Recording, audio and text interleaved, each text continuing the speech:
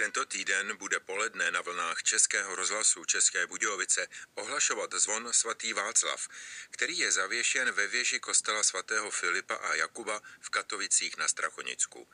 Má hlavní tón A1, průměr 95 cm a hmotnost přibližně 570 kg.